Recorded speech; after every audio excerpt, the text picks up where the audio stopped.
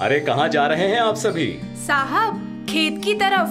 वहाँ कंबाइन से कटाई चल रही है। देखो किसान भाइयों कटाई के बाद बचे धान के फ़सल अवशेष में आग न लगाना। काहे साहब? फ़सल अवशेषों को जलाने से वातावरण प्रदूषित होता है स्वास्थ्य संबंधी बीमारियाँ बढ़ती हैं खेत के मित्र कीट और जीवांश मर जाते हैं इससे खेत की उर्वरा शक्ति प्रभावित होती है। तो साहब क्या करें? पराली प्रबंधन करें इन्हें खेत में डीकम्पोजर डालकर सड़ाएँ, कार्बनिक खाद बनाएँ, पशु चारे के रूप में प्रयोग करें या इन्हें बेचकर अपनी आय बढ़ाएँ।